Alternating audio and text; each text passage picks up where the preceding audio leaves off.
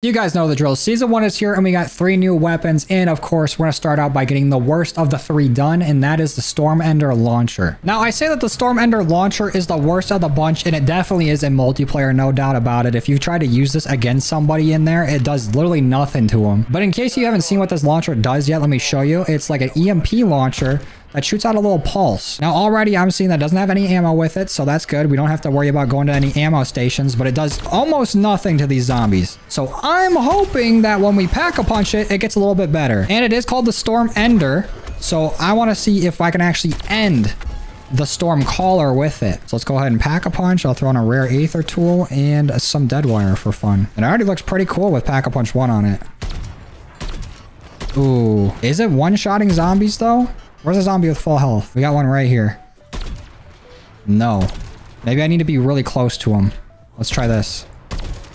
Oh, I don't know how much I like this. I was thinking when we pack-a-punched it, it'd be way better. But it already shoots slow as shit. So this is not helping out. So far, I've liked this update a lot. A lot of the content added in is really cool. I haven't gotten any of the new schematics yet, but I'm hoping I will soon. And there's a new Act 4 event where you can go over here to the bad signal that'll bring you to the Dark Aether, which is really sweet. In there, you can get a lot of like zombie kills. I think there's also a rift that spawns right behind it in this tornado that I, I kind of want to try out. I don't know if this is the best weapon to bring in there. But outside of all like the new weapons and the new content, that's all good. I have a few gripes with this update. It seems like I've been crashing way more than usual, as you can probably tell by uh, my small rucksack here and my one play armor vest. Now, I've played zombies the majority of the time since this update has been out, and uh, I'm gonna give you a little spoiler warning if you haven't seen what's in this little bad signal area, so feel free to skip forward for a second. But at the end of that Dark Aether area where you're fighting that worm boss, I got two attempts at it. It beat my ass both times. Second time though, I got kind of far with it. I got it to half health, but there was only like a minute left on the timer and then I ended up dying anyways. I didn't have any more self revives left and just went down, could not get back up. Well, my other two times that I tried to attempt it, I got like all geared up. I went through, I went and found like a three plate armor vest and a large backpack. I got enough money to fully pack a punch my weapons. And then right during like the last five minutes of the match, I crashed. So it seemed like before this update, I was crashing way, way less. I wasn't getting any crashes really. And now after the update, update, I've already crashed twice out of like the four or five games I've played. So really not happy about that. Another thing I'm not happy about is this right here, the Outlast contract. As some of you may know, it's been nerfed. And this event was basically everybody's go-to grinding method after the exfils got taken out. I still think spores are a pretty good way to grind.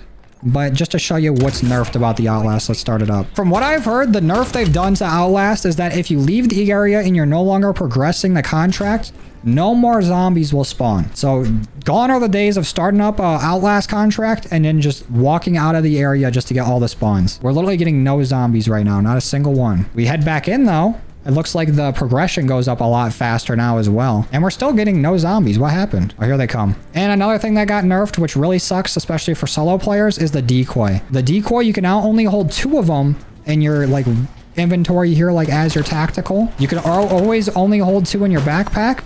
And now the duration is cut short. Before, I think it was like 10 to 12 seconds, and now it's like 6 to 8 seconds, which really sucks. So a lot of good content added into this update, and then a lot of stuff also taken away. Let's try to finish this contract while we got double points going, so we get double the money for it. Let's go. Beautiful.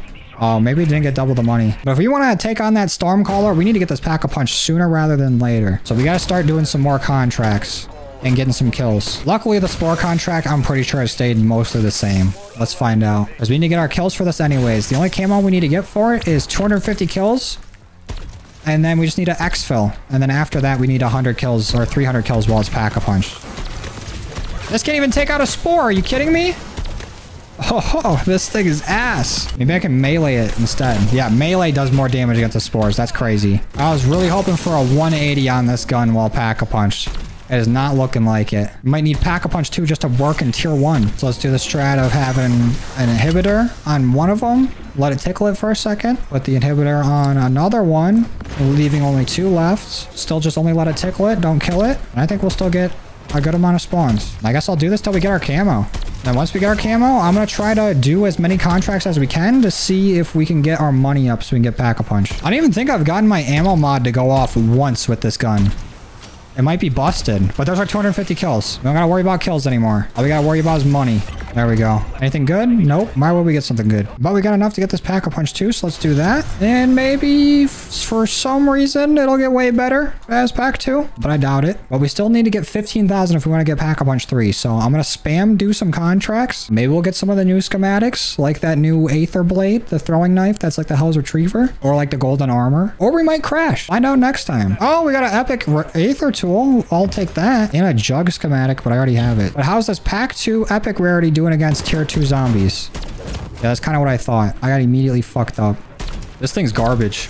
Garbage doo-doo butter. I'm still holding out hope that it might be good against the Stormcaller, though. Because this thing only shoots, like, EMP, which is all electricity, on top of it having dead wire. And the Stormcaller, funnily enough, is weak to electricity. I had enough to get pack 3, but I needed to buy a self-revive, because I know for sure I'm going to go down going against the Stormcaller. So let's go ahead and start a tier 1 bounty and see what this does against any elites, because I haven't tried it yet. Where are you at, pal? Show yourself. Oh, he's right over here.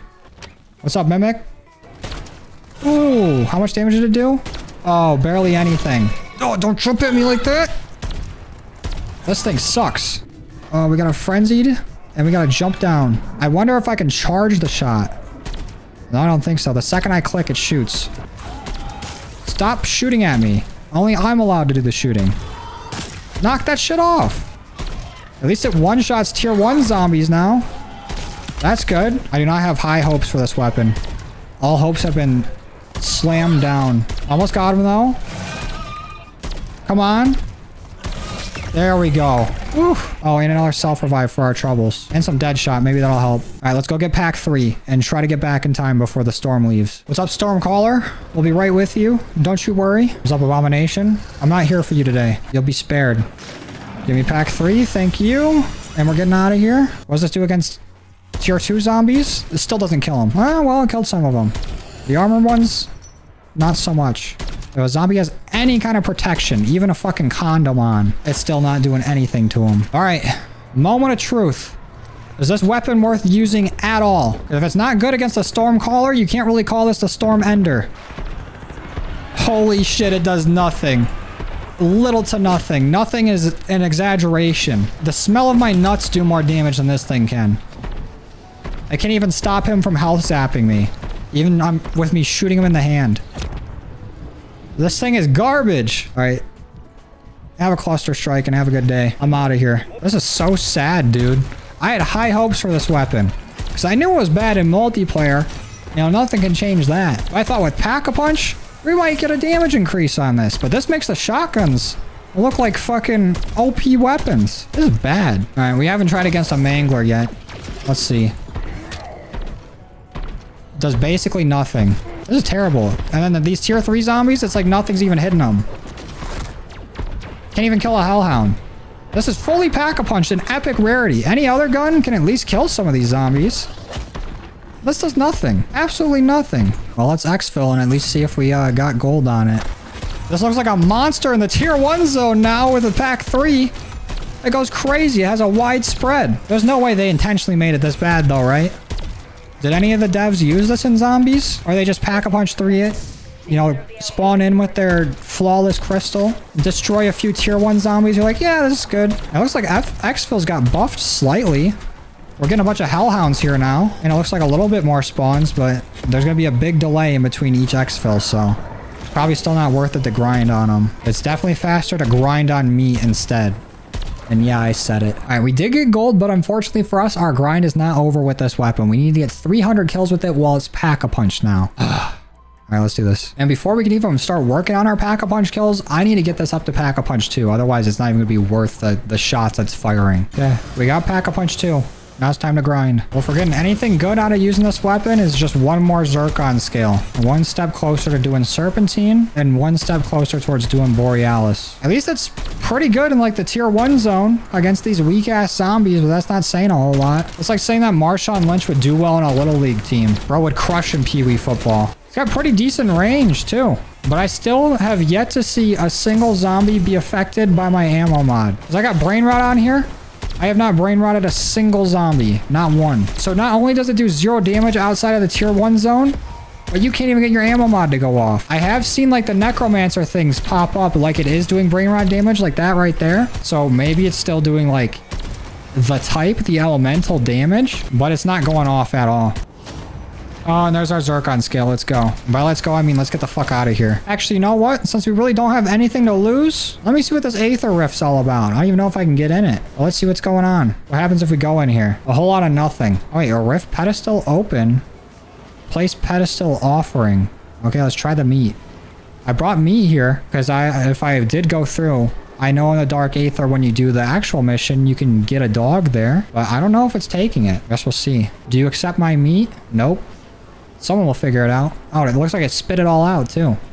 Don't spit my meat out. Very rude to spit a man's meat out. Our job is done here. Let's exfil. All right, well, this is what this piece of shit looks like with Golden Enigma. Honestly, not too bad. It's a very cool looking design and a cool idea.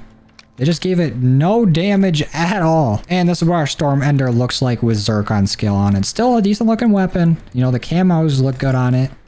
It just sucks ass. Well, this might actually be the worst gun in zombies. I would not bring this into any game unless you're actually just trying to get camos on it, and that's it. I don't even know what else to say about it. I'm gonna go ahead and get out of here. Thank you guys for watching. I truly appreciate all your love and support, and I'll see you in the next one.